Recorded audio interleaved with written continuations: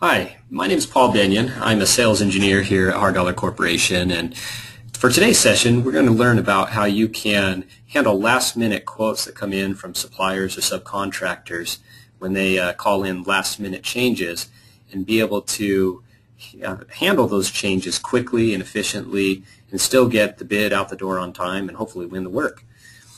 So to get started, the screen that you see here is our pay item screen.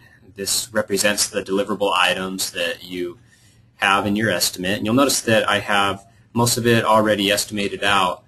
Uh, and I'm, I'm basically just about ready to finish up this estimate and submit my proposal.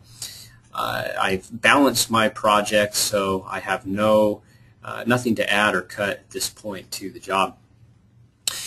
If we look at the breakdown of each of these items, this is handled in my cost breakdown structure where I have broken down those pay items into uh, greater detail with crews and, and production and costs on each of those items.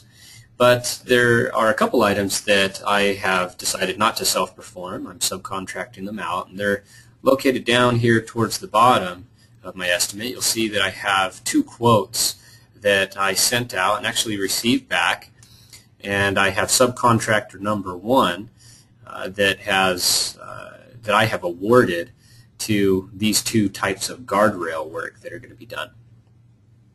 But let's say uh, at the last minute I have a separate subcontractor that calls in and wants to make an adjustment to his quote. So I can go to my comparison screen. On my comparison screen for those two guardrail items, I have the quote, awarded quote to subcontractor number one, and I have the subcontractor number two. And the lowest bidder is always on the left, and uh, the other subcontractor, you'll notice that his pricing is higher at this point, but he calls in and says that he wants to do a 20% cut on his quote. So I can go ahead and straight from my comparison screen, make a quick change by right-clicking on the quote, clicking Edit Quote, and then that takes me straight to that particular subcontractor where I can go ahead and put in an adjustment amount. We'll do a 20% cut on each of my items that I, that I have here. That 20% cut is now applied, so we see how much dollar amount that takes off. And when I click OK, it jumps right back to my comparison screen. And we now see that it has resorted my quotes. The subcontractor that I just made that cut for is now on the left telling me he's the lowest bidder. So I'm going to go ahead and award to him by right-clicking and clicking Award All. As soon as I do that, if I jump back to my estimate, I see it now is awarded to him and it has adjusted the values for me. Now, making those adjustments, I need to take a look at how I have spread my, my costs, including my indirects and then also my profit, uh, back over my deliverable items.